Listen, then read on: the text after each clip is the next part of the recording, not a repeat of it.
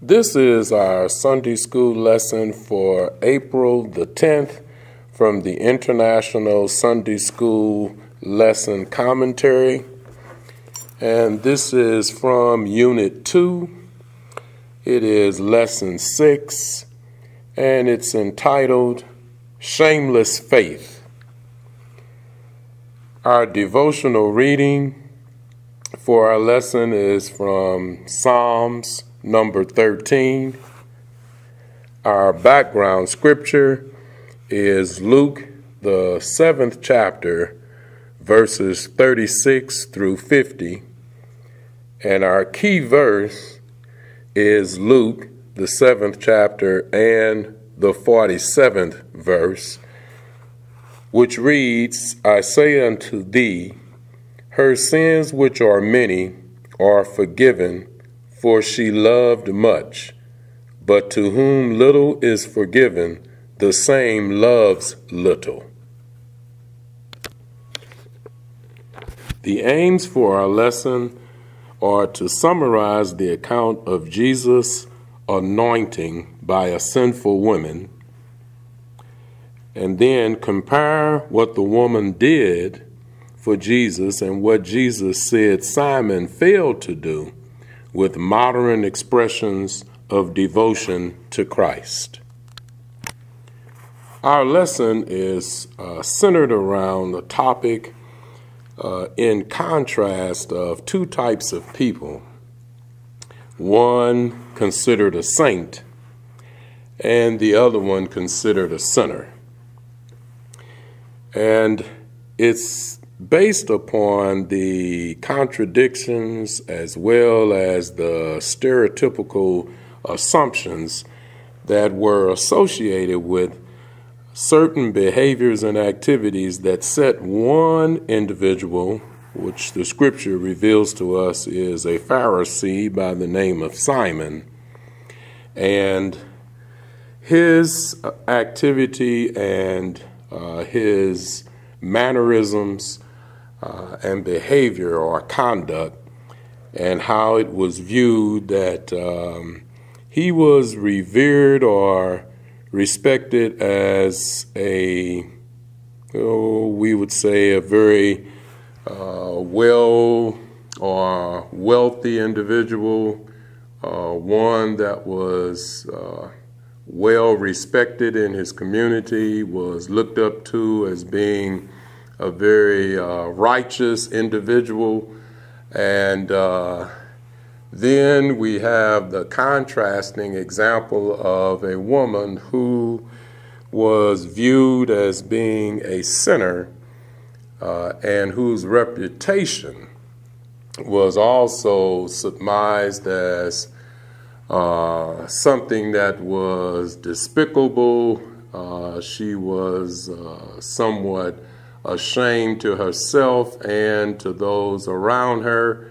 And we're looking at how uh, Christ reveals his presence in the company of both of them and how he was responded to by the both of them, regardless of uh, their so called status or their situation.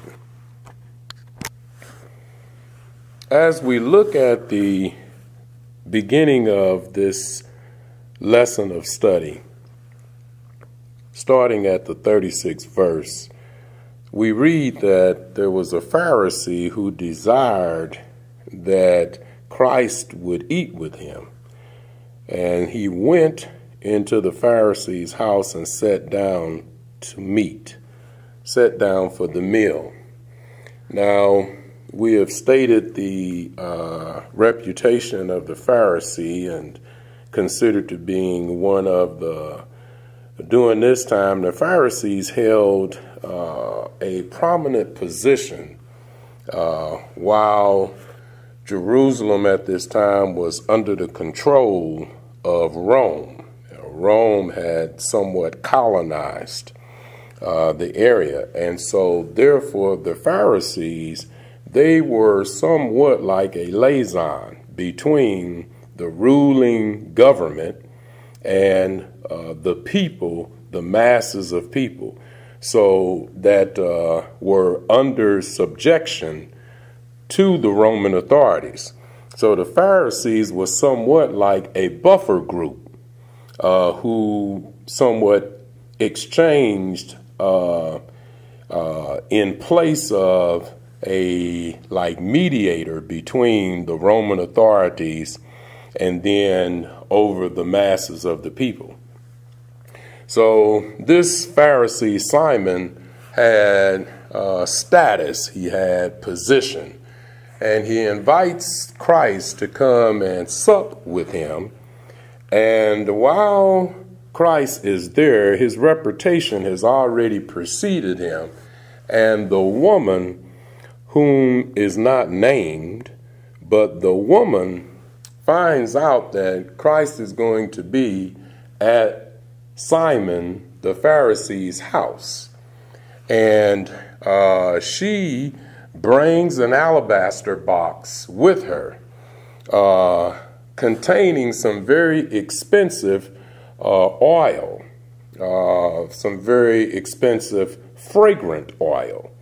And um, she brings it in, and now scripture does not even say that the woman was invited to come in, uh, which says that this young lady, this woman, uh, persevered against whatever may have been possible retaliation or rebuke, recognizing that she was coming into a Pharisee's house and how they were perceived in the community as being very stout and devout and, you know, very religious uh, people and such.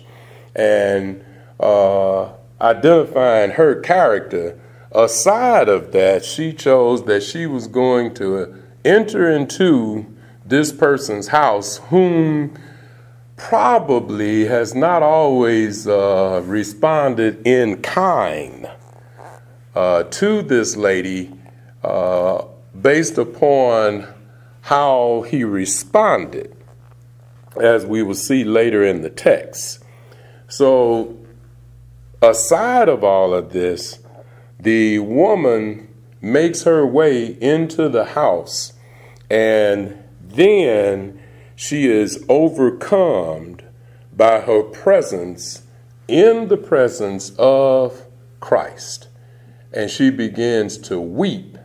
And then she performs a custom, which we will entertain later. But she performs a custom that was one of humility, one of certain love and compassion for another individual, she begins to wash the feet of Christ with the tears that were pouring from her eyes over her being subdued just from being in the presence of the Lord. And she begins to wash his feet with her tears.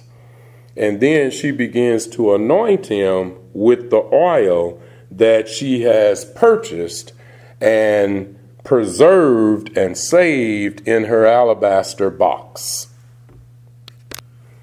Now let's entertain how Simon reacted from the outpouring of the woman towards Christ. So it says that uh, the Pharisee, which had bidden him um, to speak, he spoke within himself. Now, he didn't outwardly state what he was thinking, but within himself, he begins to question what he is uh, actually seeing. And he says, This man is definitely not a prophet. Because if he was a prophet, he would have known who and what manner of woman this is that's touching him, for she is a sinner. And in our commentary, it goes on to say that no true prophet would voluntarily allow himself to become unclean by letting a notorious sinful person touch him. Now, we know that among the Jews in Scripture and during this time, the group, the Jews had uh, very strict customs about how they would even prepare to eat a meal. Uh, there would be a process of washing, washing their hands and washing the utensils and everything that were being used. Uh, certainly, they would not uh, extend this custom out to the point where they would be touched by something they considered to be unclean. But one of the things that is a contrast in this lesson is is that although Simon has followed the strictness of the law that they had set uh, for themselves, um, something about uh, human uh, fallacy is uh, our practice of particular customs and traditions and things, uh, even uh, the practice of establishing a list of things I do and a list of things I don't do. And when we begin to attribute to ourselves uh, our own accomplishments, uh, we begin to establish a list of uh, this is uh, what I do on the regular. Uh, then we are starting to evaluate our conduct. And as a result of this, we fall into that potential and that tendency of now claiming ourselves in the light of being self righteous. So much so that it has the tendency to cause us to look upon others whose list is not as long as ours uh, relative to the things that we have attributed to ourselves as this is what I have accomplished. I don't do that. Uh, this I do. They do that, and that means they're unclean and they're unfit uh, I do this and they don't, which means that sets me apart from them and I am better than they are. And this problem is what Simon had so much so to the point that while he was while he was willing to rebuke the interaction of the woman with Christ, he did not see that Christ had also, by him being present in the Pharisee's house, he had also met with a sinner, although the Pharisee thought that the sinner only entered when the woman came. But when Christ went into the Pharisee's house with all of his self righteousness, he had already settled and sat in the company of a sinner, but this sinner was self righteous.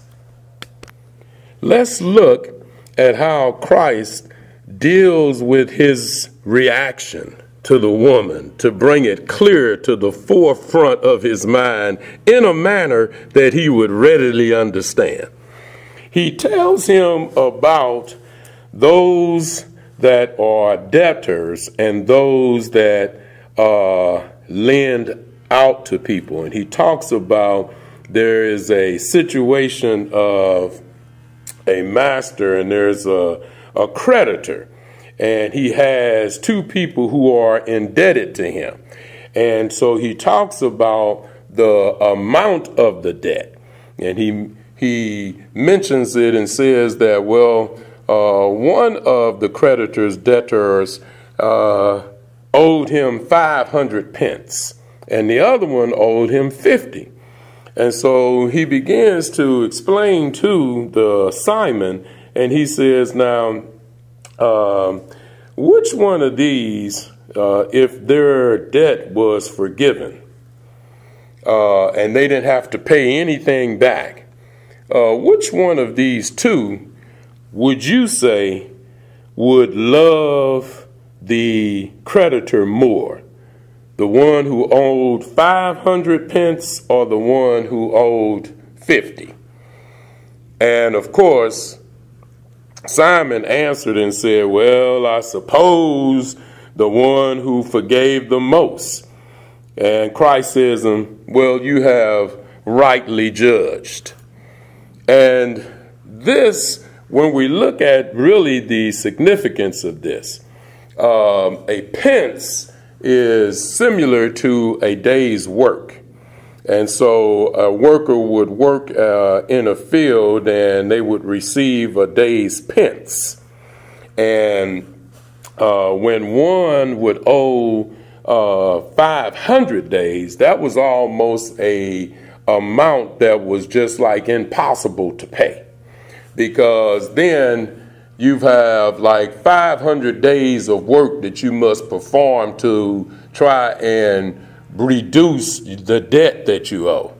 So if someone comes to you and you owe 500 compared to someone else who owes 50, the person who owes 50 may foresee that in the near future I'll be able to pay that debt down. And it's not going to take me a long time. In fact, I've already scheduled some days for me to address that. But the one who owes 500, just the thought of it, the heaviness of it, subdues the individual to the point where they begin to see it as though it's not even in the future. I'm not ever going to be able to reduce this debt. I'm going to constantly be indebted to the individual. I'm never going to be able to pay it off. So when Christ mentions it to Simon, Simon understands this because, as I said earlier, he is a prominent individual.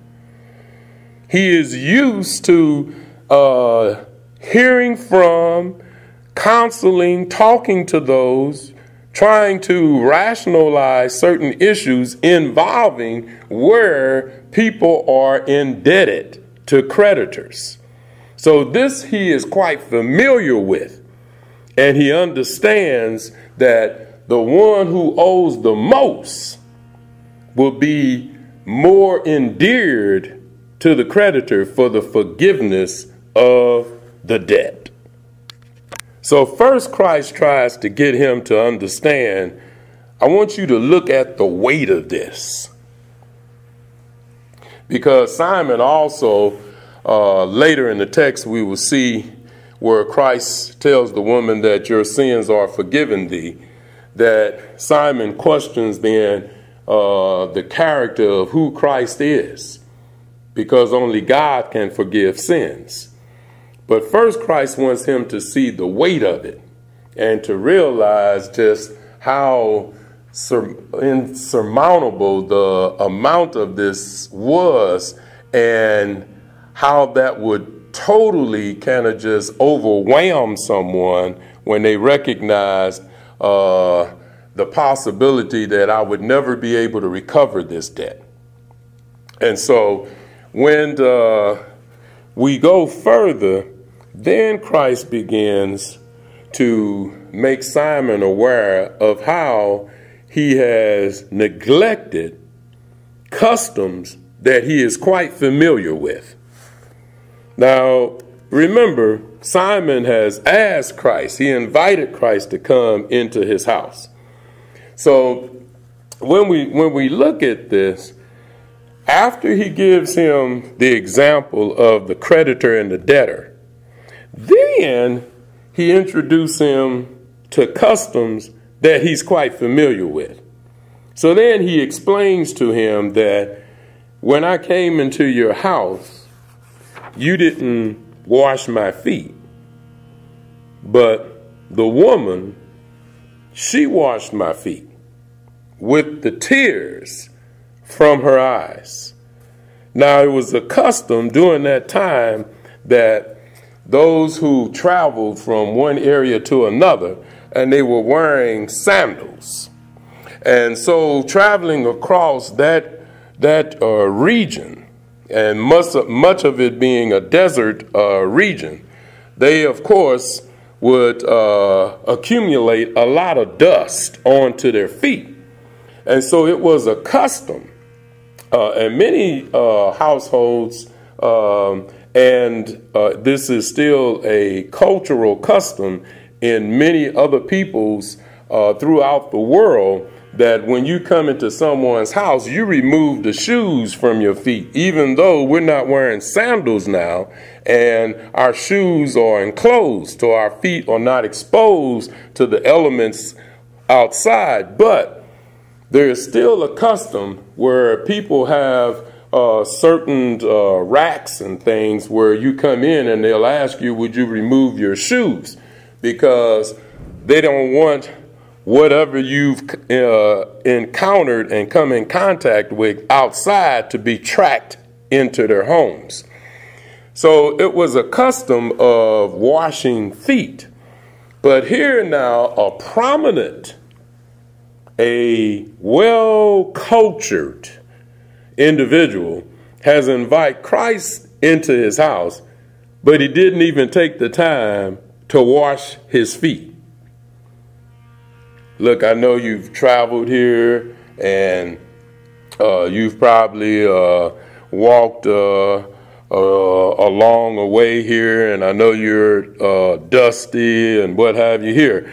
Uh, come on in and let me wash your feet and let me Uh, try and, and, and remove of some of the travel that you've encountered. Uh, let me try and make you comfortable in my home. So he begins to explain to Simon that while you're ready to ridicule this woman, look at how she responded to me and how you responded to me. He goes on to explain to him not only has she washed my feet, but another custom, uh, as we'll see through several passages uh, in the scripture.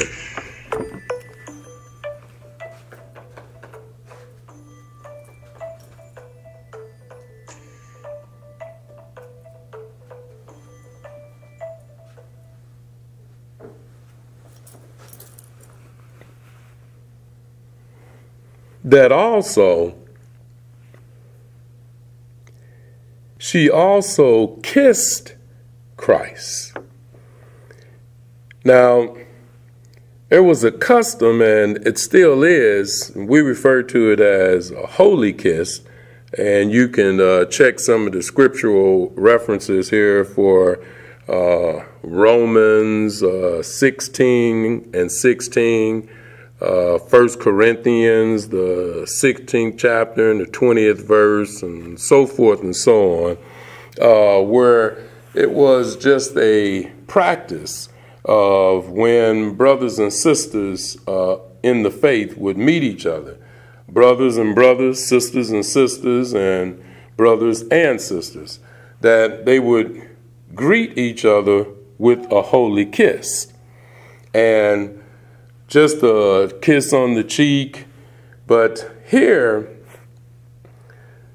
Christ mentions that not only did she wash my feet, but she also kissed my feet. And then she also anointed my feet with the oil.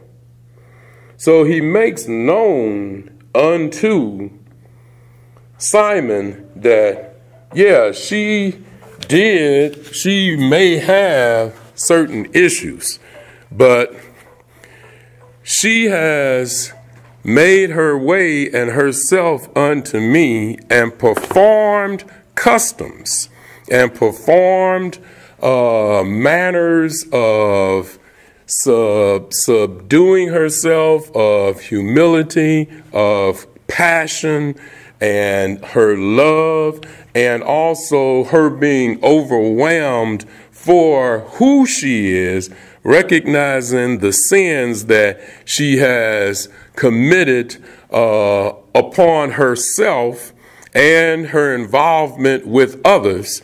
And she now realizes that the one person who can free me from these things is this anointed one, the Christ.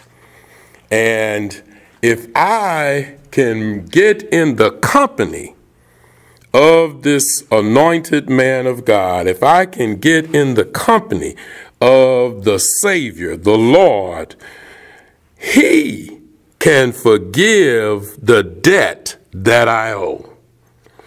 And she displays these customs and these uh, activities of honor and of love and of reverence and respect for the one who is able to cleanse her.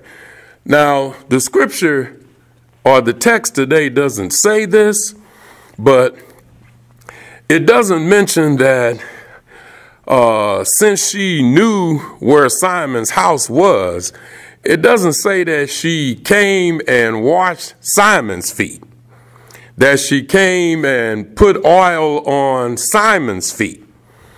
Uh, it doesn't mention that uh, now we I'm certain that since Simon uh, thought within himself that uh, this man surely would not be a prophet because he wouldn't want any unclean thing to touch him. So I'm sure she would not have been welcomed. But the point here is that she made her way to the house of an individual that she knew would rebuke her, but because of knowing that the Christ is there and the Christ can remove the debt that I owe and cleanse me of my sins. And as we conclude on our lesson, Christ says to her that the sins are forgiven, and they that sat at meat with him began to say within themselves, Who is this? That forgives sins also. Well, those of us that are followers and believers and faith walkers and practitioners of the teachings of Christ, we know exactly who he is. He is the Son of God, the Son of the living God.